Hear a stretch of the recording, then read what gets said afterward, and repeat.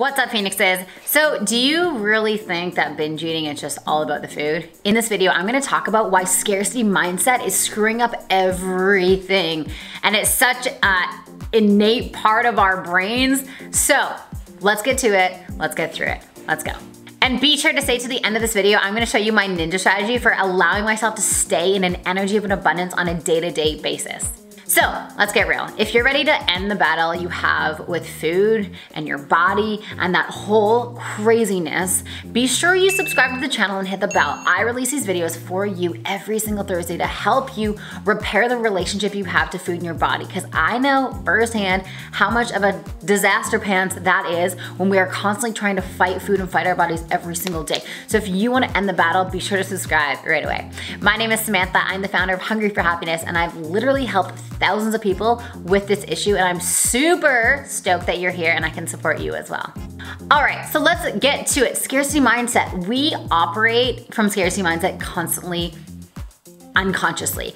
We live in a world that is so rooted in scarcity and perfectionism when really the reality of it is we can choose abundance. But we have so much conditioning about how there's never enough and there's a lack. And so we're operating from lack constantly. And so when we operate from a place of lack, what are we gonna get? What are we gonna project out? What are we gonna reflect into the world? More of that, more lack. And so ask yourself, do you say things like, there's never enough, it's too expensive, I can't afford that, it's not good enough, blah, blah, blah. Do you operate from a place place of lack? Ask yourself yes or no. Write that in the comments below. Yes or no. Do you operate from a place of lack? Because if you do, you're just gonna reflect that into the world. And what I want you to get really clear and really understand is so many of the beliefs you have around scarcity and the reason why you have a scarcity mindset, of course, isn't because that's your truth, but it's how you were brought up. Like, check out your parents and your friends and your grandparents.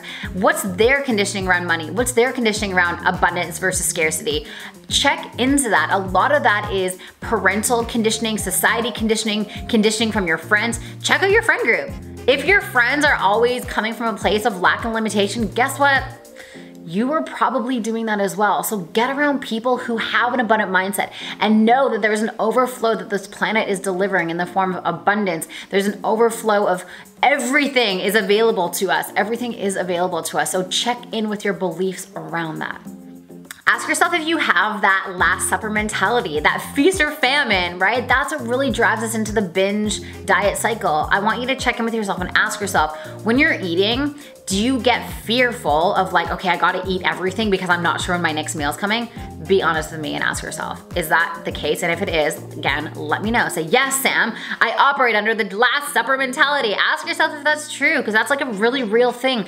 And that is a part of our brains. It's that feast and famine. And you know, we, we look at that now as diet binge, diet binge cycle. If that's what you're operating under, that is scarcity. That is scarcity. And that's what drives us into so many of these behaviors.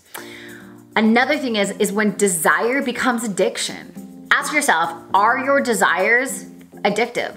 You know, especially with food, is it something that you're desiring and you're using it to enhance an experience? Or are you just addicted to that substance or that food? And really be honest, honest with yourself about this.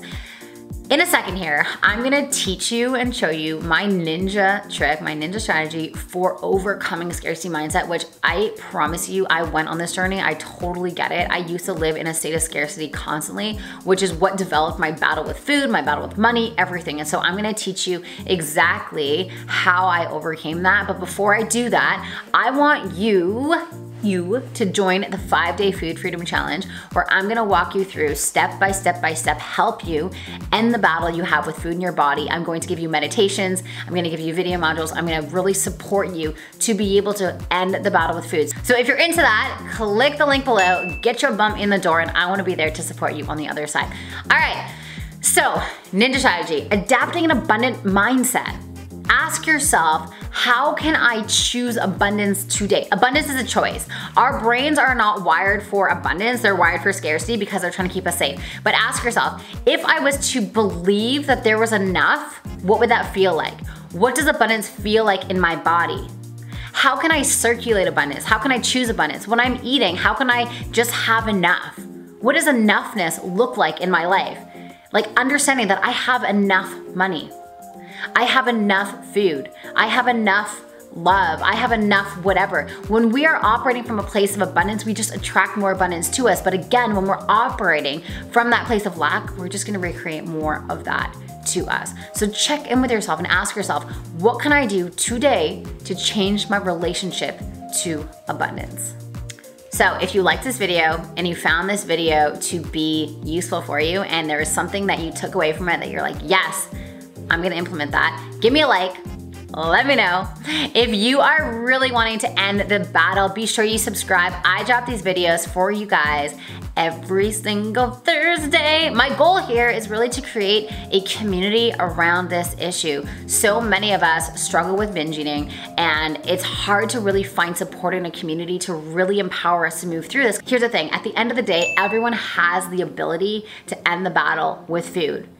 And it's not about consumption, it's not about learning more about this, it's about integration, really feeling into these things, really understanding how the body works, understanding the difference between an emotional hunger cue and a physical hunger cue, really getting to the core of like, what is it that we're actually hungry for? What is this need, this emotional need inside of me that I'm trying to fulfill with food, how to identify it, what, what is it, and how do I heal that at a, at a core level so that I can just use food for health and hunger as it was intended. So I'm super, super happy you're here. I'm so, so, so grateful. And we will see you next Thursday for another video. Bye for now.